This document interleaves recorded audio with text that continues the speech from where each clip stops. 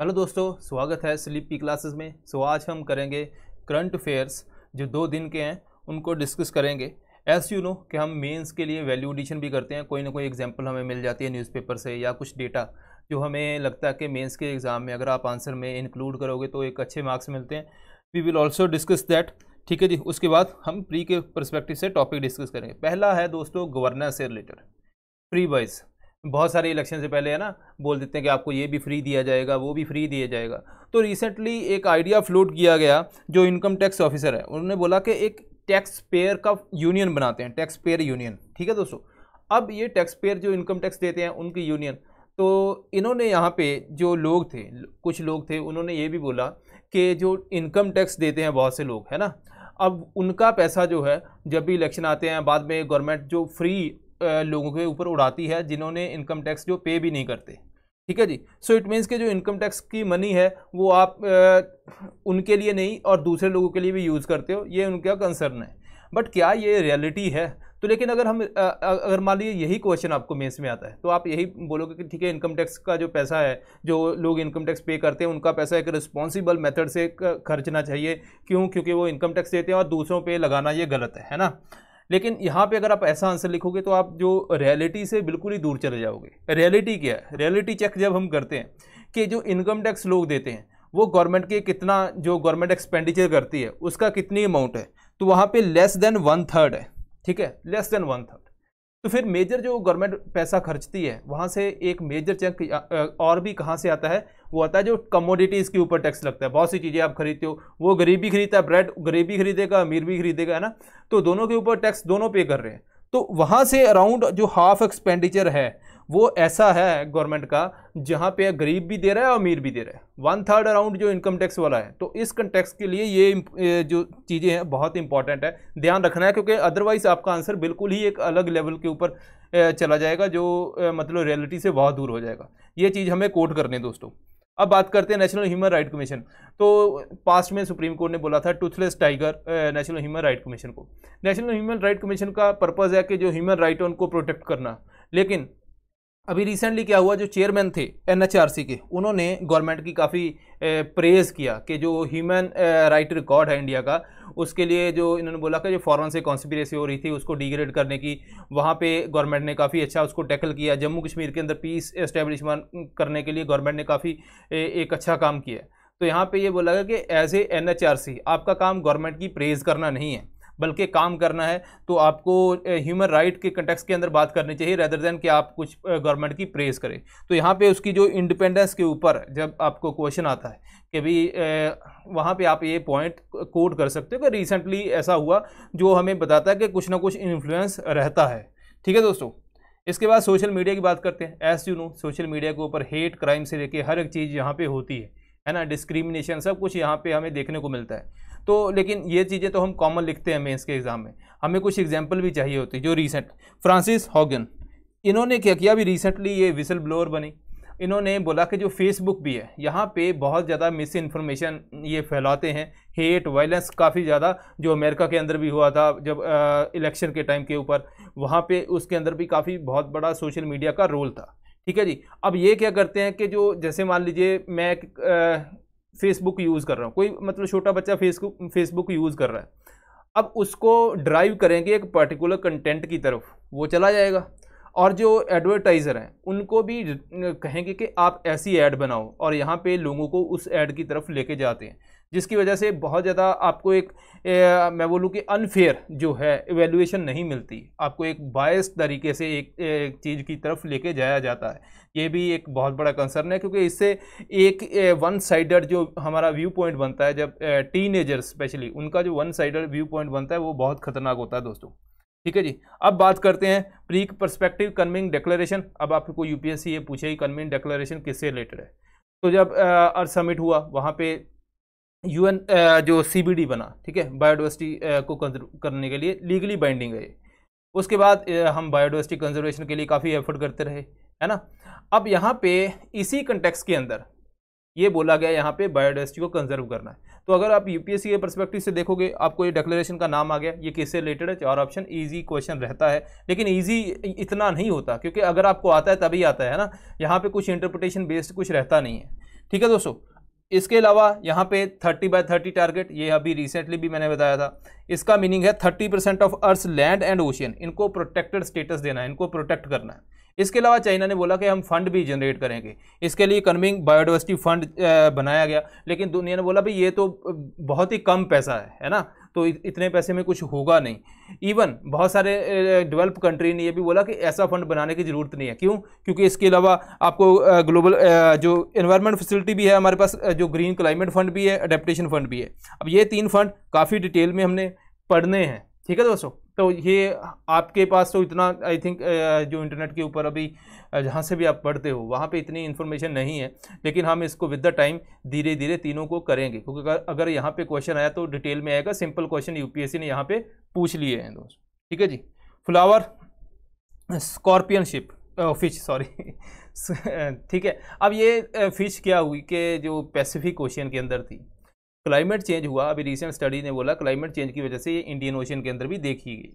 ये वेस्ट बंगाल के अंदर भी देखी गई थी उड़ीसा के अंदर भी देखी गई। तो यहाँ पे आपको यूपीएससी कंडेक्स के अंदर देखें तो ये फ़िश का नाम बोला जाएगा और बोला जाएगा ये कहाँ पे आपको मिल सकती है। या तो सिंपल क्वेश्चन इंडियन ओशन और पैसिफिक ओशियन या फिर आपको कि इंडिया के अंदर कौन सी कोस्टल स्टेट के आसपास ये आपको देखने को मिलेगी तो ये आपको इस कंटेक्स के अंदर पता होना चाहिए। अगर मैं इसका बेसिक क्वेश्चन देखूँ तो जैसे क्लाइमेट चेंज है टेम्परेचर चेंज हुआ, जो फ़िश माइग्रेशन वेरी करती है ना? माइग्रेट करती है। वो कंटेक्स तो है। लेकिन यहाँ पे जब क्लाइमेट चेंज की वजह से सेलिनिटी चेंज होती है सेलिनिटी चेंज होने से भी जो फ़िश माइग्रेशन होती है, अगर आप देखोगे रिवर जो सी के अंदर जाता है, ठीक है जी? अब वहाँ पे आपको सॉल्ट वाटर मिलता है। यहाँ पे आपको फ्रेश वाटर मिलता है। फ्रेश वाटर और सॉल्ट वाटर के अंदर अगर आप देखोगे मान लीजिए बहुत ज़्यादा सी लेवल राइज हो गया या फिर आ, आ, तो लेटेस्ट पोज के जो मराइन वाटर से फ्रेश वाटर की तरफ़ जो फ़िश मूव कर रही है क्या उसके लिए इतना ईजी है मूव करना? तो इस कंटेक्स के अंदर जो बेसिक अगर हम इसका निकालें तो ये चीज़ हमें पता होनी चाहिए। तो इसके बारे में देख लेते हैं थोड़ा सा। ऑस्को ऑस्मो रेगुलेशन बोलते हैं इसको। कि जो बॉडी के सल्यूट्स हैं, उनको मैनेज करना, उसको ऑस्मो रेगुलेशन बोलते हैं दोस्तों। अब यहाँ पे होता क्या है? यहाँ पे है मेराइन फ़िश की बात कर रहे हैं हम, ठीक है जी? मतलब अगर आप ये सोचो कि यहाँ पे जो वाटर है वाटर की जो सेलिनिटी है, वो हाई है, ठीक है जी? सेलिनिटी जो है, वो हाई है। यहाँ पे फ्रेश वाटर के अंदर, जैसे रिवर के अंदर फ़िश है तो यहाँ पे जो आउटर वाटर की जो सेलिनिटी होगी, वो होगी लो ठीक है जी? क्योंकि फ्रेश वाटर है, बिल्कुल। सेलिनिटी हाई इन कंटेक्स के जो फ़िश की बॉडी के अंदर जो सॉल्ट का कंटेंट है, उससे ज़्यादा ये हाई होगी। इट मीन्स के बहुत सारा जो बॉडी से जो पानी लॉस हो जाएगा। क्योंकि ऑस्मोसिस के अंदर क्या होता है कि जो हाई कॉन्सेंट्रेशन है सोल्यूट उसकी तरफ़ वाटर मूव करता है ना? तो यहाँ पे वाटर की हाई सेलिनिटी है सेलिनिटी है तो यहाँ पे बहुत सारा पानी बाहर मूव कर जाएगा। फ़िश को बहुत मैनेज करना पड़ेगा, है ना? फ़िश के अंदर यहाँ पे क्या क्या चीज़ें होती हैं, ये आपको ध्यान रखना है। एक तो वाटर सॉल्ट ठीक है अब फ़िश के आ, पानी के अंदर सॉल्ट है तो फ़िश जो अब गिल्स के अंदर भी पानी जाएगा तो वहाँ से जो सॉल्ट वगैरह आयन है जो पानी से एक तो मुँह मुँह के थ्रू उसके अंदर चले गए ठीक है जी। दूसरा जो फ़ूड है फ़ूड के थ्रू भी उसके अंदर चले गए अब यहाँ पे साल्ट बहुत ज़्यादा उसकी बॉडी के अंदर हो जाएगा क्योंकि बाहर भी जहाँ पानी है वहाँ पे भी सॉल्ट है है ना? उसकी बॉडी के अंदर जाता जा रहा है। बहुत ज़्यादा सॉल्ट हो जाएगा तो विद द टाइम क्या होगा? फ़िश हो सकता है उसकी डेथ हो जाए, ठीक है जी? लेकिन इसको मैनेज करना है। ऑस्मो रेगुलेशन इसमें कैसे काम करती है? सॉल्ट जो गिल्स हैं, वहाँ से सॉल्ट आयन जो है, वो रिलीज़ कर देती है। अब यूपीएससी पूछ सकती है जो फ़िश है उसका गिल्स का क्या काम है ना? ऑक्सीजन वगैरह एक्सचेंज वगैरह, ये तो हमें पड़ा है। लेकिन यूपीएससी पूछ सकती है सॉल्ट भी एक्सक्रीट करती है करती है नहीं करती? यहाँ पे अपनी स्टेटमेंट वो ठीक हो जाएगी। अब बात करते हैं यूरिन की। अब देखो, जब हम पानी पीते हैं, हम बहुत ज़्यादा पानी पीते हैं तो आप देखते हो यूरिन का कलर जो है ऑलमोस्ट कलरलेस रहता है। लेकिन जब हम बहुत ही कम पानी पीते हो तो किडनी के अंदर एडीएच रिलीज़ होता है, वो पानी को कंजर्व करता है, क्योंकि बॉडी के लिए ज़रूरी है तो हमारा हाई कॉन्सेंट्रेटेड यूरिन होता है येलो कलर के अंदर, है ना? इसी तरह फ़िश की बॉडी के अंदर पानी कम है, यहाँ पे सॉल्ट बहुत ज़्यादा है तो उसको अगर पानी बहुत ज़्यादा रिलीज़ कर देगी तो फ़िश के अंदर जो सॉल्ट की कॉन्सेंट्रेशन और बढ़ जाएगी, है ना? क्योंकि उसको पानी की वहाँ पे ज़रूरत है।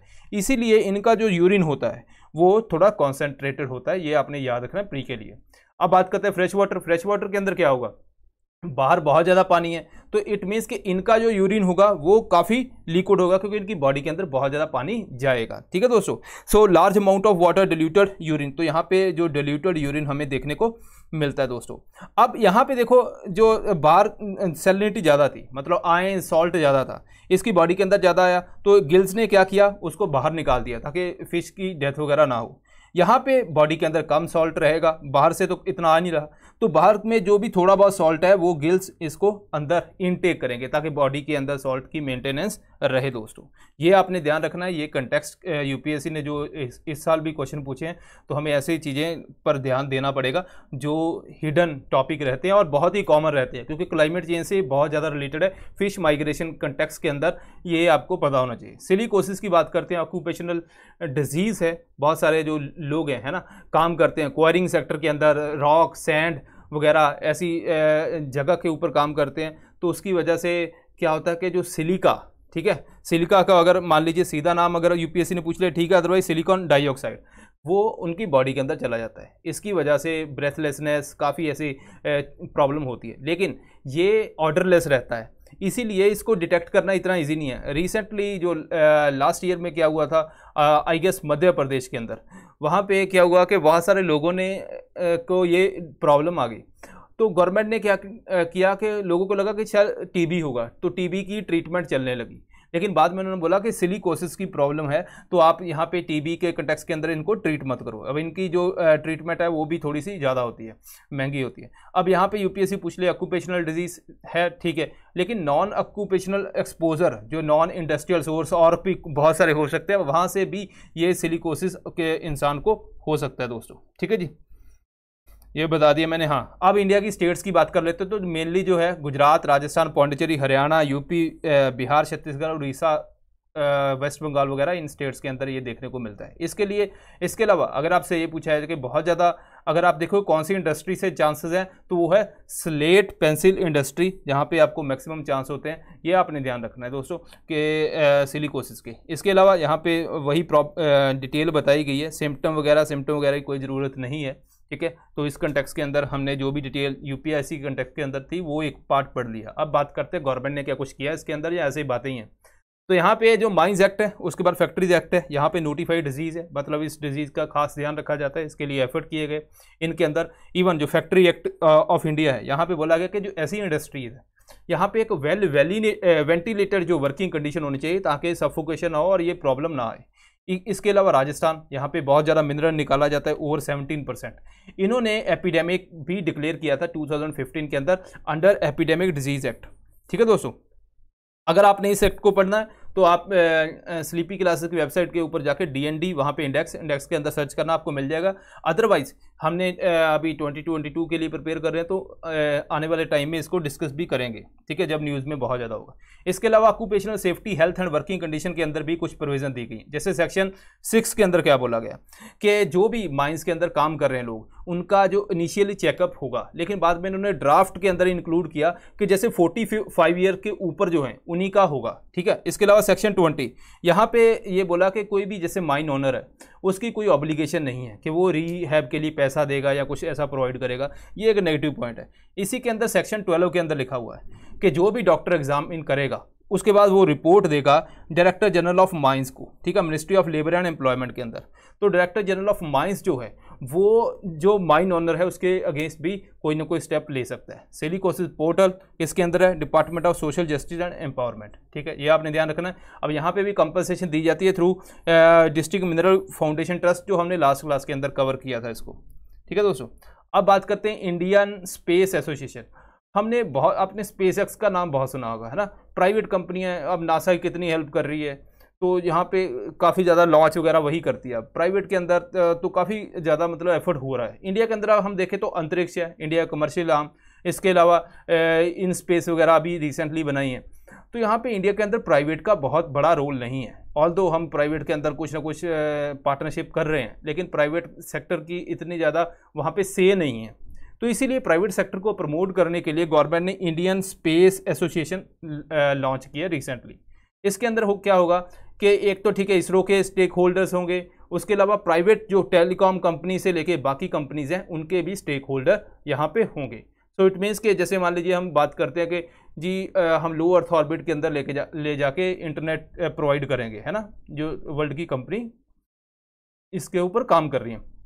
तो इंडिया ने क्या किया? हमने जो ग्राम पंचायत है, उनको फाइबर से लिंक किया ताकि वहाँ पे इंटरनेट पहुँच जाए। लेकिन नॉर्थ ईस्ट एरिया से लेके, है ना, ऐसे हिली एरिया, वहाँ पे आप फाइबर इतनी कैसे डालोगे? वहाँ पे कहीं ना कहीं तरीके से किसी न किसी से इंटरनेट तो प्रोवाइड करना है। तो इसलिए आप सेटेलाइट के थ्रू इंटरनेट प्रोवाइड कर सकते हो। यहाँ पे भी प्राइवेट सेक्टर को आना पड़ेगा, है ना, कि यहाँ पे एफर्ट करना पड़ेगा। इसीलिए ये काम किया गया है दोस्तों। ठीक है जी? अब यहाँ पे बेसिक क्या है? जो ऑल दो इसके अंदर नहीं दिया हुआ, लेकिन हमें कवर करना है। यूपीएससी के एस्पेक्ट से। एक आपको अंतरिक्ष के बारे में एनएसआईएल एंड इन स्पेस के बारे में पता होना चाहिए। अंतरिक्ष जो है, पहले कमर्शियल आर्म थी, जो आर्म है स्टार्टिंग से इसरो की। बहुत सारे जो इसरो चीज़ें बनाती है है ना? जो भी उसने क्रिएट किया है टेक्नोलॉजी है, उसको दुनिया को बताती है और जो एग्रीमेंट होता है, जिसकी वजह से हम जो हमें कंट्रैक्ट मिलता है, कुछ ना कुछ लॉन्च करने के लिए पैसा आता है, काफ़ी पैसा कमाते हैं अब यहाँ पे था जो अंतरिक्ष वो था सप्लाई ड्रिवन मतलब जो इसरो ने बनाया, उसको कैसे आगे लेके जाना है। इसके लिए एक और बनाएगी अभी recently N S I L ये है डिमांड ड्रिवन मतलब जो मार्केट को चाहिए, वो इसरो को बताएगा कि आप ये बनाओ। ठीक है? ये ऑल दो बहुत ज़्यादा डिफरेंस यहाँ पे क्रिएट नहीं किया गया, लेकिन बन गई बस, ये आप समझो। ठीक है जी? इसके अलावा इन स्पेस बनाएगी। अब इसरो है प्राइवेट कंपनीज़ है। दोनों के बीच में एक बैरियर रहता है नॉर्मली तो इस का इंटरफेस जो बनाया गया है, वो है इन स्पेस ये कोऑर्डिनेट करवाएगा दोनों को। अगर मान लीजिए इसरो के पास कुछ ऐसा स्पेस पड़ी हुई जो प्राइवेट एजेंसी को चाहिए तो वो भी प्रोवाइड की जाएगी ताकि वहाँ से मैक्सिमम हम कुछ ना कुछ आउटपुट निकाल पाएँ दोस्तों। तो ये आपको सारी पता होनी चाहिए। अब ज़रूरत क्या है? मैंने ऑलरेडी बता दिया स्पेस से लेके ब्लू रीजन ये सारा इंटरनेट प्रोवाइड कर रहे हैं।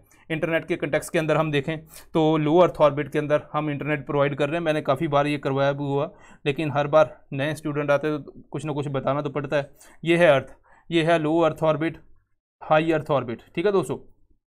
एक सेटेलाइट यहाँ पे है, एक सेटेलाइट यहाँ पे है। लो अर्थ ऑर्बिट और हाई अर्थ ऑर्बिट के अंदर क्या डिफरेंस है? कोई भी मान लीजिए लो अर्थ ऑर्बिट के अंदर एक तो इसका फुटप्रिंट की बात करें तो बहुत छोटा होगा। यहाँ पे फुटप्रिंट बहुत बड़ा होगा, है ना? जैसे मान लीजिए आपके ये दीवार है और यहाँ पे आपने एक टॉर्च है। अब टॉर्च को अब जितना पास दीवार के रखोगे तो वो एक इतना एरिया को एनलाइटन करेगी है ना? इतने एरिया के अंदर लाइट हमें दिखेगी। थोड़ा सा दूर ले जाओगे तो वो बड़ा एरिया दिखेगा। इसी तरह जितना सेटेलाइट दूर है वो बड़े एरिया कवर करेगा उसका लार्जर फुटप्रिंट रहता है और जितना लोअर अर्थ ऑर्बिट के अंदर सेटेलाइट होता है उसका लो, लोअर जो है फुटप्रिंट रहता है। इसकी वजह से एक तो ये काम हो गया। दूसरा यहाँ पे ड्रैग भी बहुत रहता है और ग्रेविटी बहुत रहती है, जिसकी वजह से जो लाइफ है सेटेलाइट की वो कम होती है। इसकी वजह से हमें इसके अलावा यहाँ पे लो फुटप्रिंट है इट मीन्स कि हमें बहुत से सेटेलाइट लॉन्च करने पड़ेंगे। अब ये तो हो गया। अब बेनिफिट क्या है? लो अर्थ ऑर्बिट है पास है सिग्नल के अंदर, ज़्यादा फ़र्क नहीं रहेगा डिले नहीं आएगा, जल्दी से सिग्नल पहुँच जाएगा स्पीड हाई रहेगी। ये चीज़ें हमें इसका बेनिफिट भी है। ठीक है दोस्तों तो इसलिए लो अर्थ ऑर्बिट के अंदर सेटेलाइट लॉन्च करने की बात हो रही है। लेकिन अब जितने ज़्यादा आप सेटेलाइट लॉन्च करोगे तो जो ऊपर वाले सेटेलाइट है, उनका सिग्नल के अंदर भी यहाँ से मैं सिग्नल कोई नीचे आ रहा है तो उसके अंदर डिस्टर्बेंस होगी। बहुत ज़्यादा आपके सेटेलाइट नीचे आ जाएँगे, है ना? ये सारी चीज़ें अपने हैं जो इसके कंटेक्स के अंदर। अब हमें चाहिए एग्ज़ाम्पल भी, अगर आपने मेंस में भी कोट करनी है तो वन वेब वन वेब है दोस्तों, ये भी फाइव टू फिफ्टी सर्विस है। स्टार लिंक है, ये भी यहाँ पे इंटरनेट प्रोवाइड कर रहे हैं अमेजोन प्रोजेक्ट के ऊपर है इसका अदर गूगल प्रोजेक्ट लून है। तो ये सारी एग्जांपल हैं जो आपको इस कंटेक्स के अंदर आपने, जैसे मान लीजिए प्रोजेक्ट कूपर प्रोजेक्ट लून या प्रोजेक्ट कूपर ये तो पूछ सकती है यूपीएससी प्री के अंदर भी। ठीक है, ये एग्ज़ाम्पल है जो इसके इंटरनेट के प्रोवाइड करने में काम कर रहे हैं। क्वांटम कम्युनिकेशन लैब रिसेंटली जो सी डॉट है centre for development of telematics जो डिपार्टमेंट ऑफ़ टेलीकम्युनिकेशन के अंदर है तो इन्होंने क्वांटम की डिस्ट्रीब्यूशन सोल्यूशन लैब एक बनाई है। यहाँ पे हम एक सिग्नल पास करते हैं। अब इसको वैसे तो पढ़ने में बहुत डिफ़िकल्ट है, लेकिन एक इजी लैंग्वेज के अंदर हम समझते हैं। जो क्लासिकल अपना सिग्नल है, मान लीजिए यहाँ पे ए ए टू बी कोई सिग्नल जा रहा है। इस सिग्नल के अंदर मान लीजिए कोई हैकर आ गया, ठीक है, उसने इन्फॉर्मेशन हैक कर ली। ठीक है लेट्स सपोज़ यहाँ पे हाई भेजा था यहाँ पे बाय आ गया, ठीक है जी। अब यहाँ पे हाई भेजा था एक्चुअली हाई भेज पहुँचना चाहिए था। लेकिन बीच में से किसी ने हैक करके कुछ डेटा चेंज कर दिया, लेकिन किसी को कुछ नहीं पता चलेगा, दोनों को, जो नॉर्मल अभी चलता है काम अपना। क्वांटम के अंदर क्या होता है दोस्तों? क्वांटम के अंदर दो तीन चीज़ें हमें समझनी है सुपर पोजिशन होता है। ठीक है? इसके अंदर क्या होता है कि अगर मैं बात करूँ जैसे ज़ीरो एंड वन अभी सिस्टम हमारा जो जहाँ पे दो ही रहता है ज़ीरो के अंदर रहता है या वन के अंदर रहता है। इसके अंदर ज़ीरो है वन है वन एंड ज़ीरो दोनों इकट्ठे भी हो सकते हैं। दूसरा इंटेंगलमेंट भी है, ठीक है, कि दो सिग्नल हैं जो, ठीक है, वो आपस में इंटेंगल है। इंटेंगल इन द सेंस कि मैं एक एग्जांपल देता हूँ लेट सपोज़ आप गिफ्ट शॉप के ऊपर गए, आपके पास दो बॉक्स के अंदर आपने पैक करवाया, ठीक है, एक के अंदर आपने मोबाइल पैक करवाया, दूसरे के अंदर लेट सपोज़ आपने कुछ टॉय पैक करवाया, ठीक है जी, दोनों के अंदर पैक करवा दिया। अब आप घर आए, आपको नहीं पता किसमें क्या है, आपने ये वाला बॉक्स खोला तो आपको पता लगा इसमें मोबाइल है है ना? तो इट मीन्स कि आपको अब ऑटोमेटिकली पता चल गया दूसरे दूसरे में क्या है? टॉय है। अगर आपने ये वाला पहले खोला तो आपको पता टॉय तो आपको पता है दूसरे में क्या होगा? मोबाइल। तो इट मीन्स कि ये दोनों आपस में इंटरलिंक्ड हो गए। इसी तरह जो फोटोन जो है क्वांटम के अंदर हम फोटोन से इंफॉर्मेशन भेजते हैं। तो यहाँ पे जो फोटोन है, वो भी एक दूसरे से लिंक है। जैसे क्या होता है कि इलेक्ट्रॉन है। इलेक्ट्रॉन की अप स्पिन है, एक डाउन स्पिन है। अगर आप जितना मर्ज़ी दूर कर दो उनको, ये स्पिन वही वैसी ही रहेगी, दोस्तों। ठीक है? सो बहुत ज़्यादा डिटेल के अंदर नहीं विद द टाइम अगर कुछ न्यूज़पेपर के अंदर बहुत ज़्यादा डिटेल में आता, वो भी हम डिस्कस करेंगे। लेकिन आपको इजी कंटेक्स के अंदर समझा रहा हूँ कि यहाँ पे इंटेंगलमेंट का मेथड यूज़ किया जाता है। इंटेंगलमेंट के अंदर क्या होगा? मान लीजिए, यहाँ पे अभी दो फोटोन है, ठीक है? एक फोटोन जो है, वो बेच दिया बी की तरफ़। ये फोटोन गया अगर मान लीजिए बीच में से किसी ने कुछ इसके साथ हैक करने की कोशिश की, कुछ यहाँ पे चेंज करने की कोशिश की तो अब एक के अंदर जब चेंज होगा, एक फोटोन के अंदर, क्योंकि ये एंटेंगलमेंट है मतलब अगर एक के अंदर कुछ चेंज होगा तो दूसरे के अंदर भी देखने को मिलेगा। अब यहाँ पे एक फोटोन भेजा था, है ना? अब इसके अंदर कुछ चेंज हुआ, रास्ते में किसी ने हैक करने की कोशिश की तो यहाँ पे जो एक फोटोन है, उसके अंदर चेंज पता चल जाएगी, क्योंकि यहाँ पे अगर कुछ चेंज होगा तो इधर भी चेंज हमें देखने को मिलेगा। इट मीन्स कि अगर यहाँ पे मान लीजिए किसी ने कुछ चेंज करने की कोशिश की तो यहाँ पे भी चेंज आएगी, है ना? और इसको पता चल जाएगा कि इन्फॉर्मेशन सिक्योर नहीं है। तो उसके बाद क्या होगा, ये इन्फॉर्मेशन को दोबारा यहाँ पे एक भेजा जाएगा। जब तक उसको लगता है हाँ सिक्योर है, तब तक ये इन्फॉर्मेशन भेज दी जाएगी। इसके अलावा, यहाँ पे इन्फॉर्मेशन जो जाती है वो इनक्रिप्टेड जाती है। यहाँ पे इसके पास जाएगी तो ये डिक्रिप्ट होगी।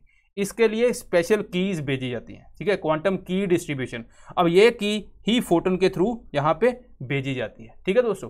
अब उसके बाद यहाँ पे इसको हम अनलॉक अनलॉक कर सकते हैं। इसके अलावा अगर इंडिया कुछ और करेगा तो इसको डिटेल में और भी हम देखेंगे क्या क्या आगे डेवलपमेंट्स होती हैं। लेकिन हाँ ये कंटेक्ट आपको पता होना चाहिए। तीन चार टर्म आपको पता होना चाहिए। एंटेंगलमेंट क्या है? सुपर पोजिशन क्या है? Then we can say quantum key distribution क्या है? ठीक है जी? ओके यहाँ पे हम्म पीएम गति शक्ति। नेशनल मास्टर प्लान है दोस्तों, यहाँ पे हम इंफ्रास्ट्रक्चर जो पाइपलाइन है जहाँ पे हमने काफ़ी पैसा डाला कि हमने एनर्जी सेक्टर से लेके अलग अलग सेक्टर के अंदर इंफ्रास्ट्रक्चर के अंदर बात जो इम्प्रूवमेंट करनी है। इसका पैसा थोड़ा सा लिया गया, ठीक है? अब इसके अंदर क्या है इंफ्रास्ट्रक्चर प्रोजेक्ट जो हैं, हम उनके ऊपर फोकस करेंगे, क्योंकि देखो जो ट्रांसपोर्टेशन कॉस्ट है, अगर मान लीजिए A point to B point कुछ हमारा हम चीज़ भेज रहे हैं, है ना? उसकी कॉस्ट बहुत ज़्यादा है तो भाई लेट सपोज़ बीस रुपये कॉस्ट आ रही है। यहाँ पे जो सौ रुपये की कीमत है, बीस रुपये ऐड हो गए, एक सौ बीस की हमें बेचनी पड़ेगी। अगर यही कॉस्ट बीस की जगह लेट्स पाँच रुपये है तो यहाँ पे इसकी कॉस्ट एक सौ पाँच हो जाएगी। ठीक है? तो अब लॉजिस्टिक कॉस्ट बहुत ज़्यादा रहती है, इसीलिए हमें उसको कम करना है इंफ्रास्ट्रक्चर के ऊपर इन्वेस्ट कर रहे हैं। इसके अलावा हम इंडस्ट्रियल कॉरिडोर बनाएँगे, ठीक है? फोर कनेक्टिविटी विलेजेस को करेंगे, ये सारी चीज़ें हम यहाँ पे करेंगे, इसके अंदर।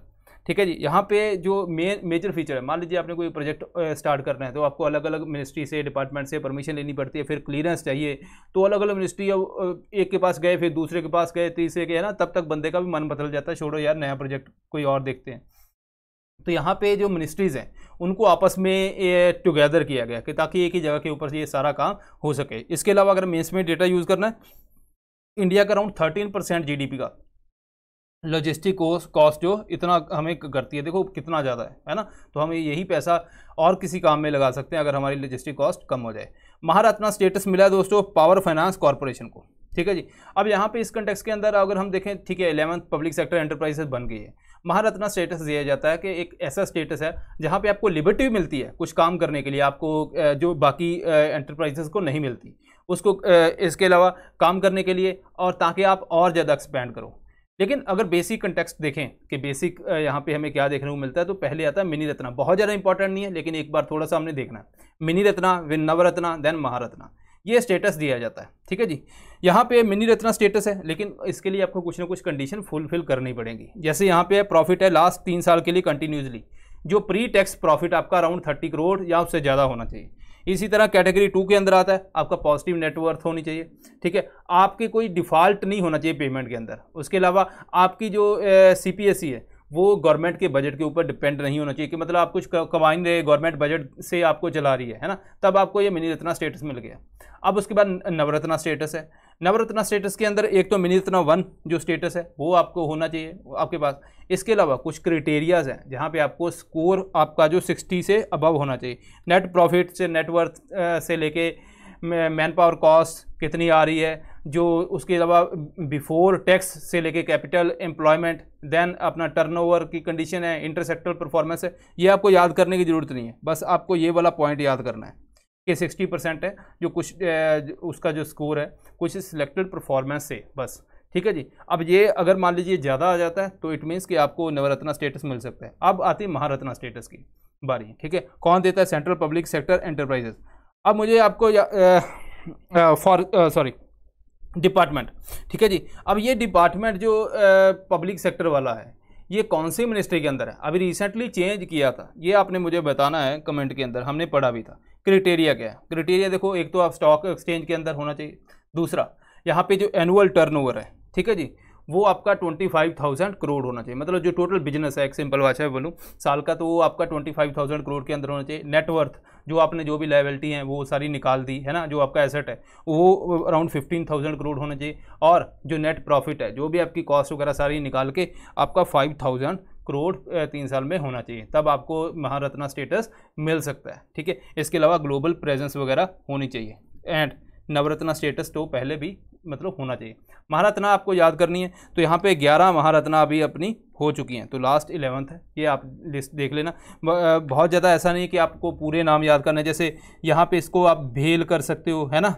भेल कर लिया, ठीक है जी, ये अपना गेल है, ठीक है जी ये अपना सेल है। ऐसे कुछ करके आप नाम बना सकते हो कि ये तेल है। है ना? ऑयल वाला। तो ऐसे आपने बस करके नाम याद कर लेने। पूरे पूरे नाम याद नहीं करने, क्योंकि ये पूछ लेते हैं। पावर ग्रेड ये इंपॉर्टेंट है। इसको भी आपने देखना है, ठीक है जी? अब बात करते हैं प्रोसीजर क्या है। जैसे मान लीजिए कोई रिस्पेक्टेड जो भी जिस मिनिस्ट्री के अंदर वो आता है, उस मिनिस्ट्री की एडमिनिस्ट्रेशन या जो भी डिपार्टमेंट है, वो डिपार्टमेंट ऑफ़ पब्लिक एंटरप्राइजेज को यहाँ पे अप्रूवल के लिए भेजेगा। अब ये department of public enterprises inter ministerial committee बिठाती है और उस मिनिस्ट्री कंपोजिशन क्या है सेक्रेटरी है, वो चेयरमैन होगा जो department of public enterprises then सभी secretary and department of expenditure का बैठेगा प्लानिंग कमीशन ठीक है? अब ये तो चलो चला गया। उसके अलावा एडमिनिस्ट्रेशन मिनिस्ट्री डिपार्टमेंट वगैरह, या कुछ ऐसा। लेकिन आपको ये याद नहीं करने, आपको ये सिर्फ़ चेयरमैन याद रखना कि हाँ ये वाला चेयरमैन बैठता है। अब ये कौन सी मिनिस्ट्री के अंदर है, ये आपने बताना है, क्योंकि अभी रिसेंटली हमने पढ़ा भी था डीएनडी के अंदर। Delegation of power to Maharatna Maharatna क्या काम कर सकती है? क्या ऐसा आपने स्टेटस दिया? उसका बेनिफिट क्या है? एक तो वो कैपिटल एक्सपेंडिचर कर सकती है, ठीक है? विदाउट एनी मॉनिटरी सीलिंग उसके ऊपर कोई सीलिंग नहीं है, जितना मर्ज़ी वो चाहे कर सकती है।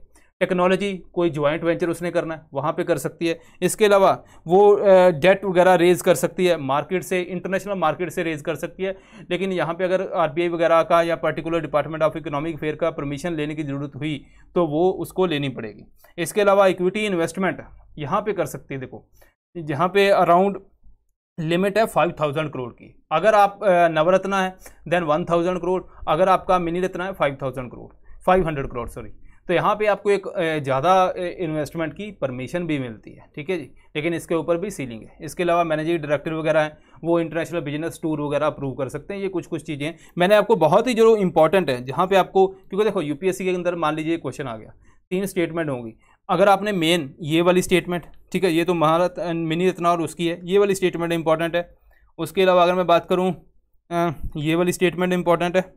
और ये स्टेटमेंट इंपॉर्टेंट है, ठीक है? यहाँ पे वो यूपीएससी पूछे डोमेस्टिक मार्केट से या इंटरनेशनल मार्केट से वो रेज कर सकता है, नहीं कर सकता, ये आपने ध्यान रखना है। अगर आपको इतनी स्टेटमेंट तीन ही आती हैं तो आपका क्वेश्चन वहाँ पे सॉल्व हो जाएगा इजीली कोई इशू नहीं रहेगा। ग्लोबल गर्लहुड रिपोर्ट 2021 ठीक है जी? अब रिसेंटली एक एनजीओ है सेव द चिल्ड्रन ठीक है दोस्तों? अब इन्होंने एक रिपोर्ट निकाली है, यहाँ पे क्या बोला गया है? इंपॉर्टेंट जो पॉइंट्स हैं, एक तो है child marriage kills more than sixty girls a day ठीक है? अब चाइल्ड मैरिज वहाँ पे वो इतनी जल्दी चाइल्ड बेयर भी नहीं कर सकती, है ना? तो उसकी वजह से बहुत सारी डेथ भी होती है। ठीक है? सिक्स गर्ल्स जो हैं a day in South Asia इसके अलावा साउथ एशिया के अंदर टू थाउज़ेंड चाइल्ड मैरिज से रिलेटेड डेथ एवरी ईयर ठीक है जी? ये हमने पॉइंट याद करना है। इसके अलावा child marriage is number one killer in teenager girls ठीक है? वो मैंने आपको बता दिया क्यों? ये तीन पॉइंट जो मोस्ट इंपॉर्टेंट है। ठीक है? इस कंटेक्स के अंदर। इसके अलावा अगर हमें क्या इंडिया के अंदर चाइल्ड मैरिज के अंदर कुछ है कुछ हमने कि, आ, किया है जो एज तो यहाँ पे चाइल्ड मैरिज रिस्ट्रेन एक्ट 1929 ठीक है? यहाँ पे अगर मैं बात करूँ तो यहाँ पे दो मिनिमम एज जो थी 14 ईयर ठीक है? गर्ल के लिए और 18 ईयर बॉय के लिए। उसके बाद इसको अमेंड करके इंक्रीज़ भी किया गया। आपने मुझे बताना है कि इस एक्ट का ना जो आपके जो हिस्ट्री की बुक पढ़ते हो वहाँ पे एक और एक्ट जो है उसका नाम लिया गया है। और कौन से थे, किसने अप्रूव किया था उस टाइम के ऊपर? इसके साथ रिलेटेड है Joshi committee. Joshi committee is also related with this एक और फैक्ट हम याद कर लेते हैं यूपीएससी का कुछ नहीं पता भाई मूड का उनके, है ना? Prohibition of child marriage act 2006 यहाँ पे भी 18 एंड 21 जो थी, वो एज सेट की गई।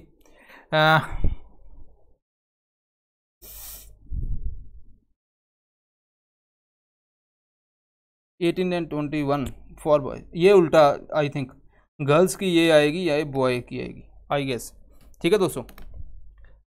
तो यहाँ पे हम थोड़ा सा इन्फॉर्मेशन के अंदर इशू है. देन सीका के बारे में पढ़ते हैं. Conference of interaction and confidence of building measure in Asia recently six जो मिनिस्ट्रियल मीटिंग हुई इसकी, कहाँ पे हुई? कजाकिस्तान के अंदर. अब ये है क्या? कि एशिया के अंदर, है ना? जो भी एक जो पीस है, वो इस्टेब्लिश करने के लिए कॉपरेशन इस्टेब्लिश करने के लिए ये काम किया जाता है।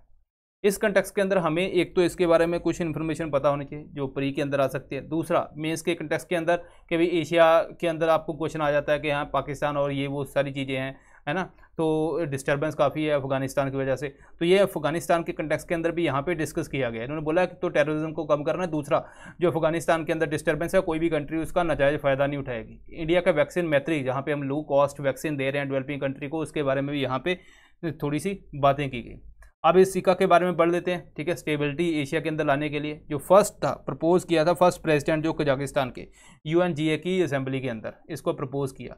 और यहाँ पे क्या बात करता है? बातें बड़ी अच्छी करता है वही क्या इक्वलिटी नॉन इंटरफेरेंस मतलब अगर किसी कंट्री का इंटरनल इशू है तो हम उसके अंदर घुसते जा रहे हैं, ऐसा कोई काम नहीं करना, ठीक है जी? जो भी इसका फैसला को कंसेंसस से लेगा, होगा मतलब सहमति से होगा सभी मेंबर की, ठीक है दोस्तों?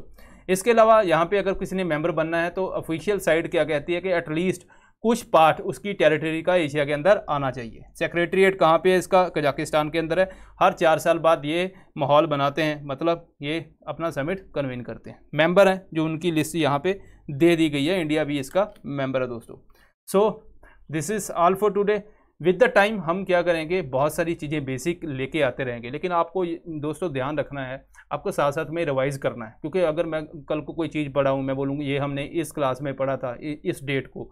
आपको वो याद ही नहीं आ रहा, है ना? तो फिर वो सारी आपकी प्रोसेस जो है, एक अच्छी खासी प्रोसेस है। ये डिसिप्लिन मांगती है, वो ख़राब हो जाती है। तो ये आपने ध्यान रखना है। बाकी जो हम करेंगे तो काफ़ी कुछ आपको एग्ज़ाम में यहाँ पे देखने को भी मिलेगा। एटलीस्ट आप बाकी स्टूडेंट के कंपैरिजन एक अच्छे दो स्टेप आगे ही होंगे। सो so, मिलते हैं next time thank you very much